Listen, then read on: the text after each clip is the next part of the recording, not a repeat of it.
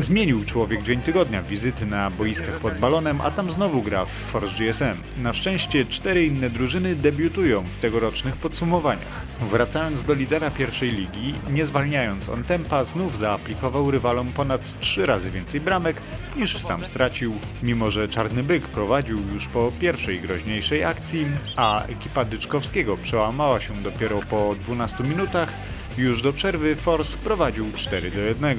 W drugiej połowie wciąż kontrolowali przebieg wydarzeń. Byka stać było tylko na jeszcze jedno trafienie. Kroku liderowi dotrzymują jak na razie tylko kruczki, również niepokonane, ale mające dwa mecze mniej, i druga drużyna bez porażki, Soccer Team, z jednym meczem zaległym.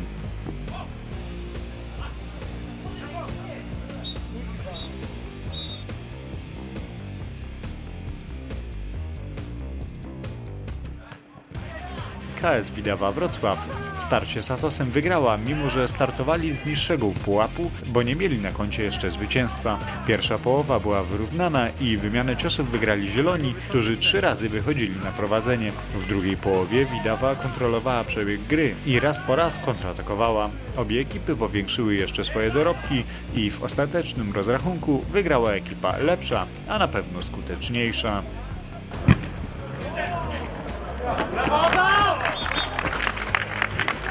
Pierwsza wygrana, w sumie to jest dopiero czwarty punkt, choć myślę, że spokojnie mogliśmy mi- mi- mieć ich z dziewięć, ponieważ no, dwa razy przy takim samym prowadzeniu jak dzisiaj było 4-2 straciliśmy. Myślę, że zagraliśmy trochę bardziej e, dojrzale od przeciwników i też nie podpalaliśmy się zbytnio przy wyniku 4-2, że wszyscy już szli do przodu, tylko że trochę też kradliśmy czas i staraliśmy się utrzymać do końca, czego brakowało w tych właśnie ostatnich meczach.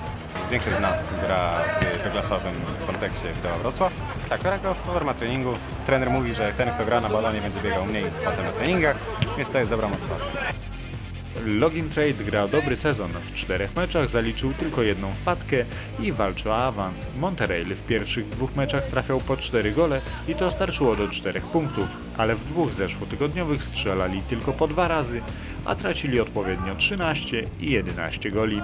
Tę najwyższą porażkę zaliczyli w prezentowanym meczu z Login Trade'em. O ile do przerwy pełna przewaga niebieskich nie ulegała wątpliwości, to w drugiej odsłonie dominowali jeszcze bardziej. Dwie bramki stracili dopiero w końcówce, gdy nieco się rozprężyli.